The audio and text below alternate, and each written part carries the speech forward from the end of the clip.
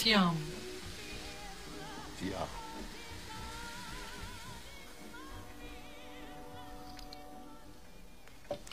You look tired, Pop. So what's your news? I'm getting married. Again? Yeah. You did this once before, it didn't work out. But the guy died. And what killed him? He got hit by a bus. No, bad luck. Your mother and I were married 52 years. Nobody died. You were married, what, two years? Somebody's dead. Don't get married again, Loretta. It don't work out for you. Who's the man? Johnny Cammareri. Jo- Johnny Cammareri. He's a big baby. And why isn't he here with you telling me this? Because he's flying to Sicily. His mother is dying. More bad luck. I like his face, Loretta. I don't like his lips. When he smiles, I can't see his teeth. What does he hide? When are you going to do it? In a month. I won't come. You gotta come. You gotta give me away. I didn't give you away the first time. And I had bad luck. You know, maybe if you if you gave me away and I got married in a church in a wedding dress instead of down at the city hall with strangers standing outside the door, then maybe I wouldn't have had the bad luck I had. Maybe. You know, Pop, I had no reception, no wedding cake, no nothing. Johnny got down on his knees and proposed to me at the Grand Ticino. He did? Yeah. That don't sound like Johnny. Well, Where's the ring? here. It looks stupid.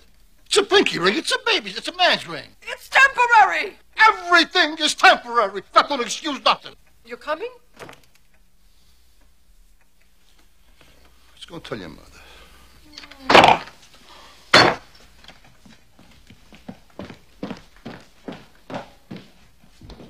Rose. Rose.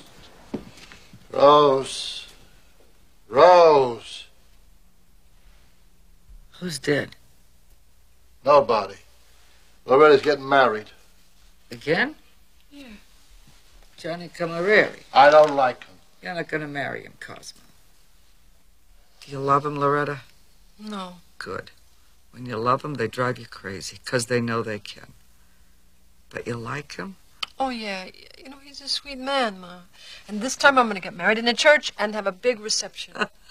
And who's going to pay for that? Pop, What? father of the bride pays. I have no money. You're rich as Roosevelt.